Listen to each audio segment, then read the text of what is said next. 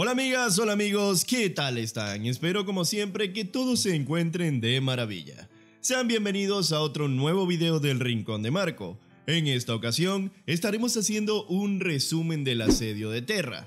Ya saben, la penúltima gran batalla de la humanidad y las fuerzas del emperador contra el poderío del caos del architraidor y mil veces maldito Horus Lupercal, señor de la guerra de los rebeldes.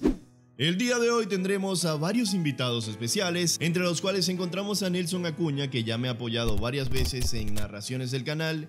Además, también tendremos la oportunidad de escuchar por segunda vez a la talentosísima Andrea González, que como ya sabemos tiene un amplio trayecto a nivel de doblaje, habiendo trabajado en series como Los jóvenes titanes en acción, Steven Universe, Bob Esponja, y Haters Town. Así que bueno, dicho todo lo anterior, esperamos que vayan a disfrutar muchísimo este video porque de verdad que le vamos a poner un empeño increíble. Como siempre, suscríbete, comenta, dale like y activa la campanita para estar atento a nuevas entregas y no olvides seguirme en mis redes sociales y en las redes sociales de las personas que me van a ayudar el día de hoy. Dicho todo lo anterior, comencemos.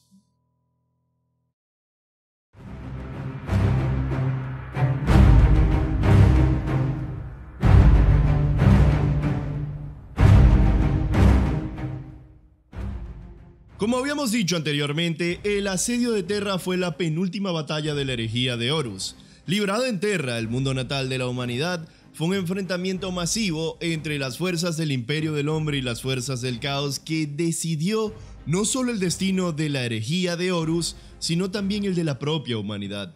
Entre los comandantes encontramos por supuesto al dios cadáver emperador y al architraidor Horus Lupercal, el primero fue herido casi de muerte en combate, mientras que el segundo fue asesinado.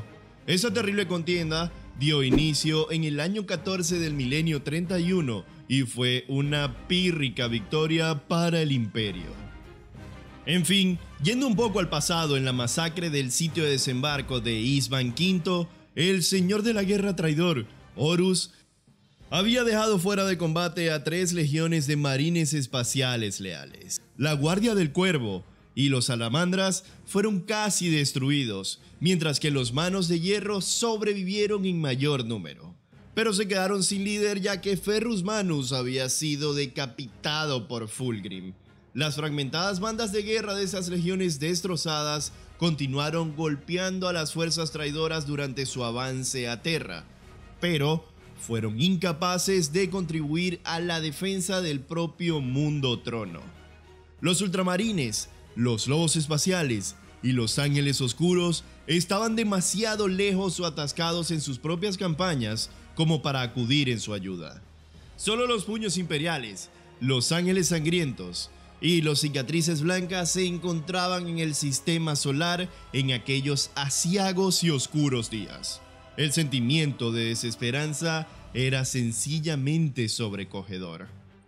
Haciéndole frente a los leales estaban los ejércitos del caos bajo el mando del señor de la guerra Horus, que incluían nueve legiones de marines espaciales del caos, fuerzas traidoras del ejército imperial, hordas demoníacas y las legiones titánicas del Mechanicum Oscuro de Marte. Por otro lado, la capital del Adeptus Mechanicus había caído recientemente en manos de las fuerzas traidoras. La situación se había vuelto desastrosa para el imperio y las fuerzas del emperador. Horus, presintiendo que podía acabar con el conflicto y acabar decisivamente con el emperador, comenzó a moverse sobre Terra. Rogaldorn de los Buños Imperiales recibió el mando general de las defensas del mundo natal de la humanidad, mientras el propio emperador estaba ocupado con su proyecto secreto, el Trono Dorado. En este empeño el primarca contó con la ayuda de cientos de especialistas. Además de las fuerzas leales de los marines espaciales desplegadas en el sistema solar, los leales fueron reforzados por los custodios, las hermanas del silencio millones de tropas del ejército imperial, así como diversas fuerzas del Mechanicum y legiones titánicas. la Legio Cibernética y los Esquitari. Gran parte de la población de Terra, además, fue reclutada a la fuerza en las fases previas a la batalla, con millones de aterrorizados reclutas a los que se les entregó un rifle láser sin apenas haber recibido entrenamiento. La mayoría de estos fueron desplegados en la red de trincheras de tres capas alrededor de las murallas del Palacio Imperial, con Dorn con la intención de guardar sus tropas astartes y el Mechanicum para las últimas etapas de la batalla. ya saben, la Guardia Imperial o el Ejército Imperial era básicamente carne de cañón. Tras la batalla de Beta Garmon, las puertas al sistema solar quedaron abiertas y Horus reunió por fin sus fuerzas en Ulanor tras años de guerra, en una clara parodia retorcida a la antigua reunión de Ulanor. Estas fuerzas incluían a los hijos de Horus, los devoradores de mundos, los hijos del emperador, los mil hijos, la guardia de la muerte y los guerreros de hierro bajo sus respectivos comandantes y primarcas. Estos, además, fueron reforzados por fuerzas dispares de los amos de la noche bajo el mando del capitán Gendor Skrybok y 5.000 portadores de la palabra que estaban a las órdenes de Sardul Layak. La Legión Alfa abandonó la zona de guerra solar tras entregar a Horus un mapa detallado de las defensas del sistema solar. Durante la fase final de la guerra solar, las fuerzas de Horus reclamaron el sistema solar de manos de los leales. Todo lo que quedaba en su camino hacia la victoria era ahora la propia Terra. Horus pretendía capturar el planeta cuna de la humanidad antes de la llegada de Roboti Gilliman desde el este galáctico, aunque desplegó a Perturabo y los guerreros de hierro para fortificar el sistema solar contra cualquiera que pudiera entrometerse en el asedio. El plan estaba preparado y una terrible tormenta de sangre carmesí pronto bañaría a las fuerzas leales. Al décimo tercer día comenzó entonces el bombardeo a tierra. Desde la órbita, las naves de Horus lanzaron un aluvión incesante de misiles y rayos de energía. El primer proyectil apuntó a Sanctum Imperialis, los aposentos personales del emperador, por razones meramente simbólicas, aunque no causó daños y fue rápidamente interceptado por numerosos sistemas de defensa con tecnología de punta se produjo un cruento intercambio de disparos cuando el enorme conjunto de baterías de cañones antibuque de Terra se abrió sobre las naves traidoras. Ambos bandos sufrieron pérdidas, pero la flota traidora en particular sufrió grandes pérdidas en el espacio, pero resistió por el mero peso de los números. El objetivo final de Horus era el Palacio Imperial, sede del emperador en persona. El bombardeo orbital fue uno de los más intensos jamás presenciados y sacudió incluso a los valientes y aguerridos adeptus astartes leales. Sin embargo, el daño al propio palacio fue mínimo debido a un sofisticado sistema de escudos de vacío de múltiples capas y autorreparable conocido como la égida, así como el hecho de que la última placa orbital de Terra fue colocada sobre el palacio para servir como escudo y plataforma de armas.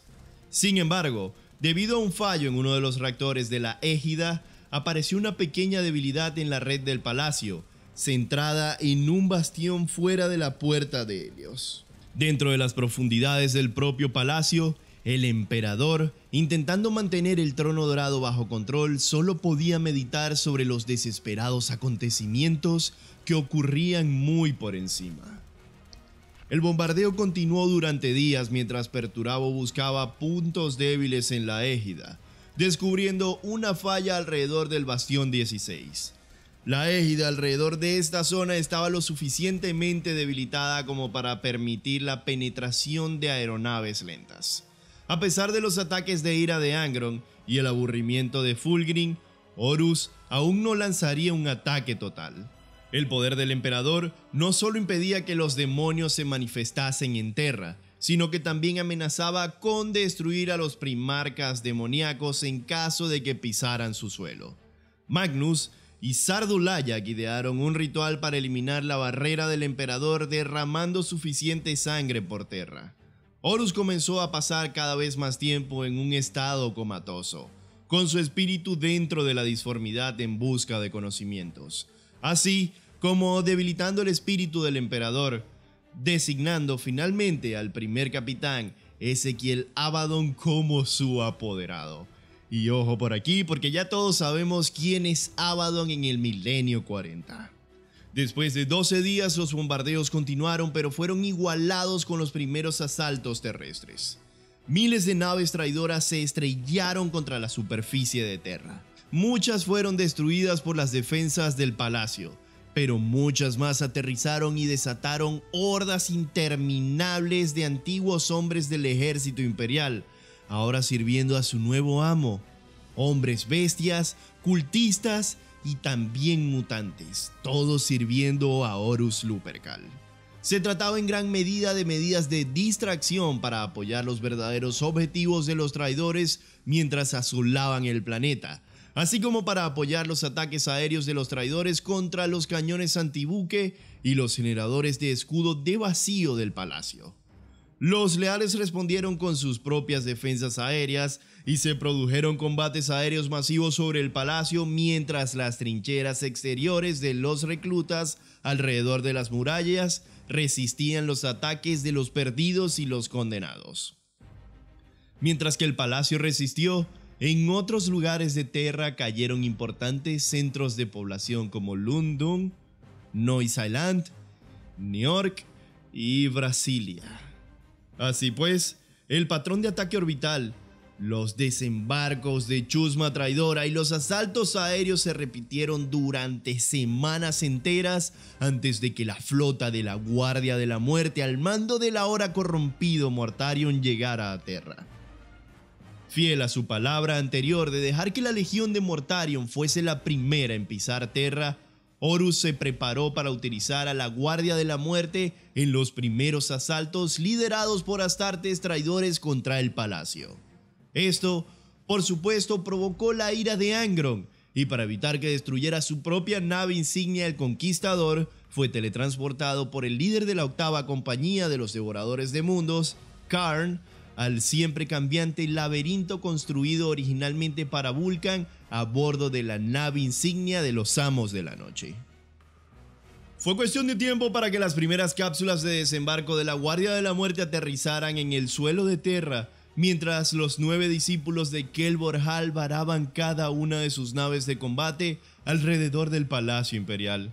Los escudos de vacío y el volumen de las naves del mecánico oscuro permitieron a los traidores establecer sus primeros puntos de apoyo reales alrededor del palacio, y mientras la Guardia de la Muerte desataba gases y plagas sobre las trincheras que rodeaban las murallas, matando a cientos de miles, el mecánico oscuro se puso manos a la obra para construir máquinas de asedio e ingenios demoníacos. El asalto de la Guardia de la Muerte a las trincheras más exteriores alrededor del palacio estaba a punto de doblegar a los defensores del ejército imperial, hasta que Hagatai Khan, desafiando las órdenes de Dorn de permanecer en el palacio, lideró una carga casi suicida de los cicatrices blancas. Los cicatrices blancas empujaron a las fuerzas del caos más allá de la primera línea hacia sus campamentos antes de que el Khan fuera finalmente obligado a bajarse de su motocicleta de reacción. Hagatai mató a docenas de astartes traidores de la Guardia de la Muerte hasta que fue herido por una hoja envenenada contaminada con asquerosos y hediondos poderes disformes.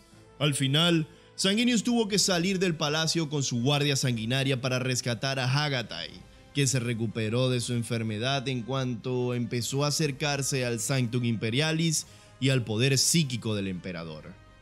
Tiempo más tarde, los traidores iniciaron su doble plan para romper la égida y permitieron la manifestación demoníaca en Terra. Un rostro gigante proyectado por Sardul Layak apareció en una isla de huesos que descendió del cielo, instando a la clase más baja de Terra a levantarse contra el emperador y asegurándoles que si se volvían a Horus, ahora se salvarían. Lo cierto es que las armas del palacio no pudieron silenciar a la isla corpórea y una vez concluido su discurso comenzó a llover sangre.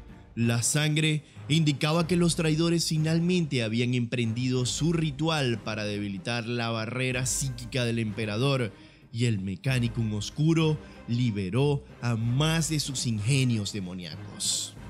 Ocho cañones construidos cerca de los emplazamientos de las naves del Mechanicum Oscuro se abrieron sobre el escudo La Égida que rodeaba el palacio, minándolo de sus energías mientras la Guardia de la Muerte desplegaba enormes torres de Norgel en las murallas. Cuando la Égida cedió, el bombardeo traidor pudo finalmente golpear directamente a las defensas del palacio, causando una devastación masiva y permitiendo un asalto de los rapaces de los amos de la noche. El bombardeo traidor pudo finalmente golpear directamente las defensas del palacio. Las trincheras más exteriores alrededor de las murallas del palacio eran ahora insostenibles, pero Sanguinius abrió la puerta de Helios y dirigió un contraataque masivo de los ángeles sangrientos y los puños imperiales, así como los titanes de la Legio Solaria. La batalla estaba muy lejos de terminarse aún.